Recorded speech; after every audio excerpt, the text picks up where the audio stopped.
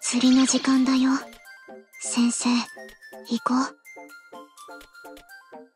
こういうところに来ても先生は変わらないね。いつも支援。いや助けてくれてありがとう。待ってたよ先生。おかえり先生。今来たばっかの人にかける言葉じゃないかもしれないけど外出よっか。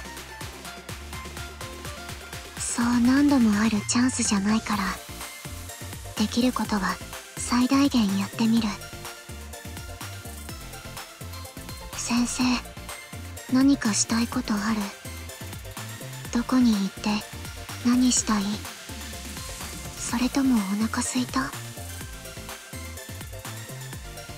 これ先生のために来てる。大物を取ってくるから期待してて。エアコンや扇風機もいいけど水中の方が好きかも。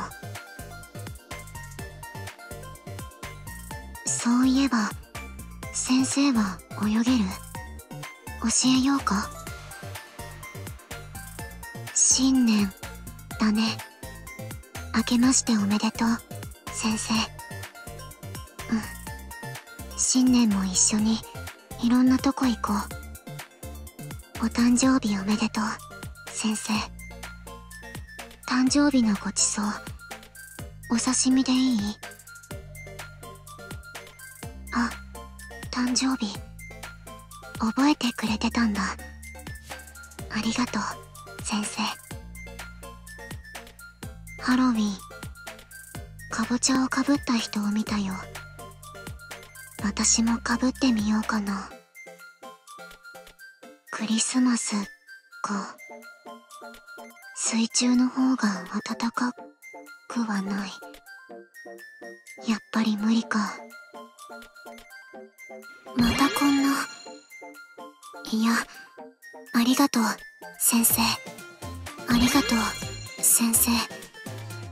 ところで食べたい海産物とかある？先生のためなら何でも取ってくるよ。楽しいかって。うんすごく。